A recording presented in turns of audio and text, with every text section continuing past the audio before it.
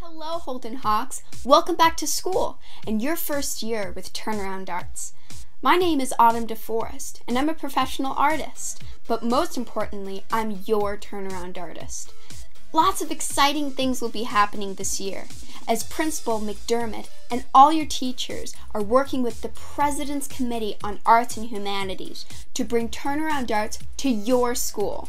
Let me tell you, they have the best year planned for you, filled with acting, dancing, music, and creative projects Whatever you love, you can do it too. Just don't focus on how good you are.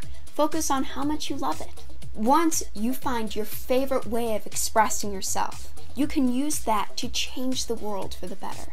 Ever since the age of five, when I started painting, I wanted to find a way how I could change the world for the better with my art.